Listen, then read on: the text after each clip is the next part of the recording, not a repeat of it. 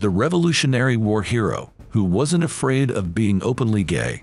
Gay men have always been a part of the military. Most of their stories have gone untold, but there is one that's particularly interesting. It's the story of Friedrich von Steuben. He was friends with the founding fathers. He transformed the Continental Army. He also arranged risque charged parties at his quarters. Von Steuben never married and had no children. He did have two adoptive sons. In reality, however, they were his partners. Friedrich Wilhelm von Steuben was born in 1730. At 16 or 17, he joined the Prussian military. He fought in several battles. In the Seven Years' War, von Steuben rose to the rank of captain. He also became Frederick the Great's aide. In 1763, he was suddenly dismissed. An implacable enemy was responsible for his firing. For a while, von Steuben struggled to find a job. Benjamin Franklin suggested that he joined the American Army. Von Steuben declined at first. He pursued a position at the Baden court, but his application was sabotaged. He was accused of taking familiarities with young boys. There is no evidence that he was a pedophile, but it's widely accepted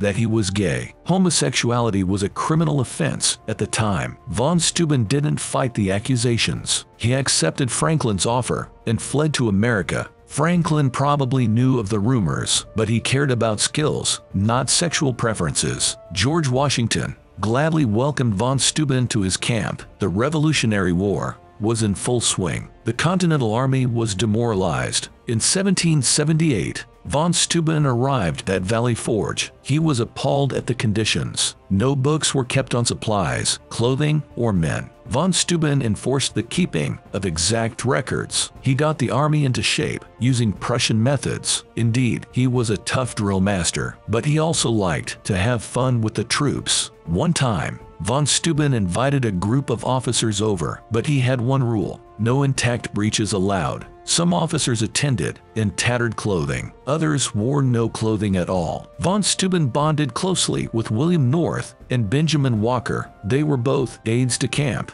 Von Steuben lived with them for two years at Valley Forge. He had a romantic relationship with North. His relationship with Walker was unclear. Von Steuben's addition to the army was crucial. He was one of Washington's most trusted advisors. He eventually took on the role of Chief of Staff. His drill manual is still in use today. After the war, he received U.S. citizenship. He joined the American Philosophical Society. It included many prominent founding fathers. Von Steuben lived with North and Walker in New York. North spoke for them all when he wrote, We love him, and he deserves it, for he loves us tenderly. Von Steuben legally adopted both men. It was common among same-sex couples at the time. Von Steuben died in 1794, aged 64. North and Walker inherited his estate. Von Steuben was a revolutionary both on and off the battlefield, but his military contribution has largely been forgotten.